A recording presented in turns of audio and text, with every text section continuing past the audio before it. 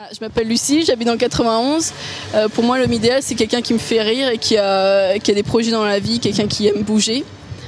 Euh, j'aimerais, euh, je, suis en études d'infirmière. J'aimerais être infirmière dans l'armée pour rentrer dans l'ONU et pour être près des gens et les aider. Il doit être ambitieux et souriant, surtout dynamisme et, et qu'il ait des projets, qu'il ait envie de bouger, qu'il qu'il soit toujours de bonne humeur. Doit aimer aider les autres aussi, j'imagine. Oui. bon, après, ça, c'est mon, c'est mon caractère. Après, s'il aime pas aider les autres, c'est pas, c'est pas grave. bonne chance pour la mort. Merci.